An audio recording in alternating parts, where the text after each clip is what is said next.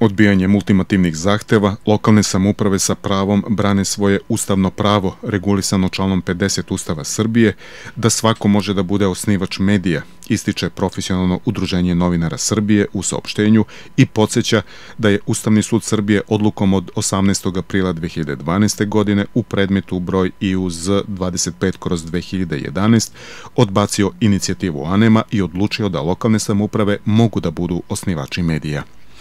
Takođe verujemo da i lokalne samuprave očekuju odluku Ustavnog suda Srbije o ustavnosti pojedinih članova seta novih medijskih zakona, a na inicijativu Sindikata novinara Srbije i profesionalnog udruženja novinara Srbije. Nadamo se da lokalne samuprave neće podleći pritisku i da će postupati u skladu sa najvišim pravnim aktom Srbije i odlukama Ustavnog suda.